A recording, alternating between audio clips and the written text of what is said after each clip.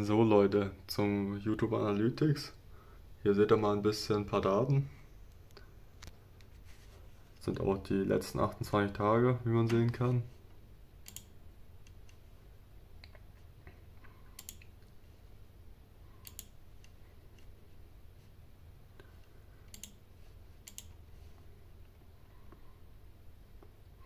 Hier die Videos, die am besten laufen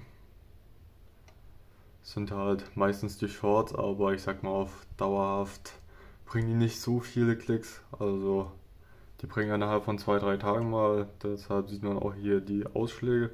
Das ist immer, wo ich YouTube Shorts hochgeladen habe. Und der Rest ist halt dann normal.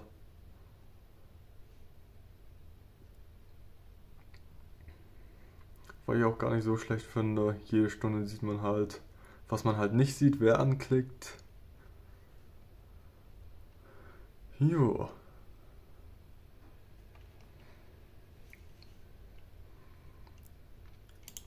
So, was ich auch nochmal zeigen wollte.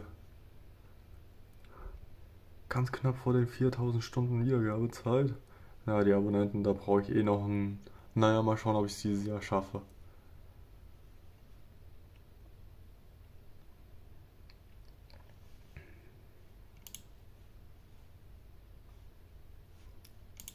Hier sehe ich natürlich weitere Sachen.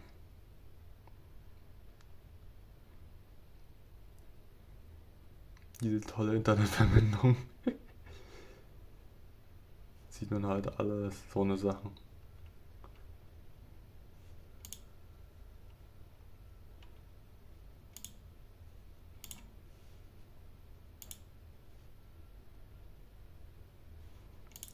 Wobei hier habe ich sogar noch was gesehen.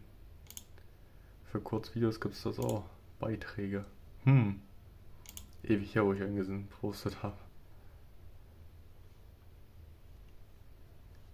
So.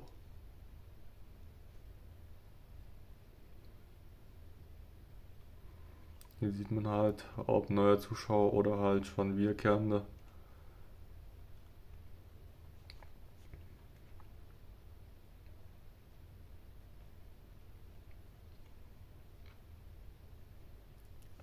Nutzer ohne Abo. Ha.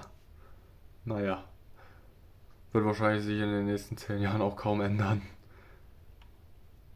Vielleicht werden dann Nutzer mit Abo wahrscheinlich dann auf 10% hochgehen, aber mehr wahrscheinlich auch nicht. Weil ich halt auch interessant finde, Sonntag schauen halt die meisten zwischen, ja, 15 und 20 Uhr so ungefähr.